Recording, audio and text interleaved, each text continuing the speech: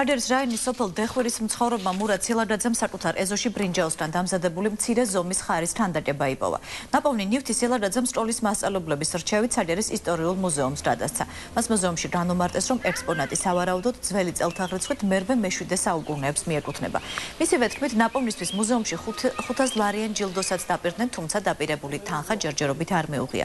სილადაძემ ნივთი დაახლოებით 1 თვის წინ იპოვა. მუზეუმის ხელმძღვანელობა კომენტარს არ აკეთებს.